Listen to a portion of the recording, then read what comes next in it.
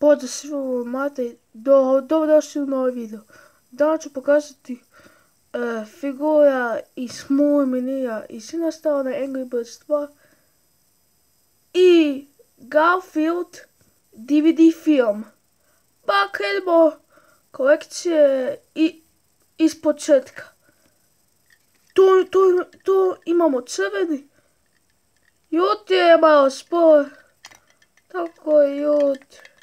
Tako, nije svadak, malo juto. Vidi kako, se vrti. Idemo što da je.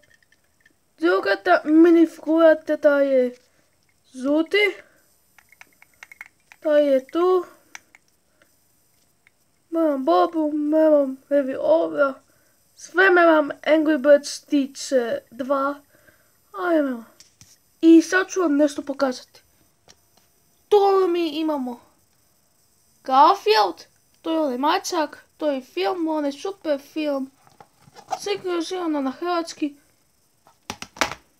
Možete gledati na engleskom i možete gledati sinkronizirano na hrvatskom.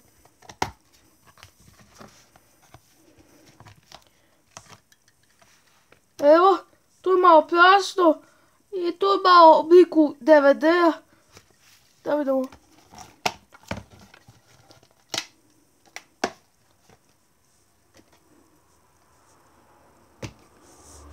Hvala što ste gledali video, ako da, da napisite lajkate, ako da da ne pisite lajkate.